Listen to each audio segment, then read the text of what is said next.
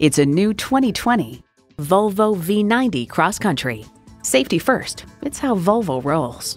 It comes with all the amenities you need streaming audio, front heated leather bucket seats, power heated mirrors, hands free liftgate, automatic transmission, gas pressurized shocks, external memory control, dual zone climate control, four wheel drive, autonomous cruise control, and doors and push button start proximity key.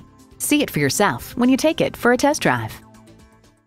At family owned Volvo of Marietta, things are different. We're conveniently located near Dobbins Air Force Base on Cobb Parkway.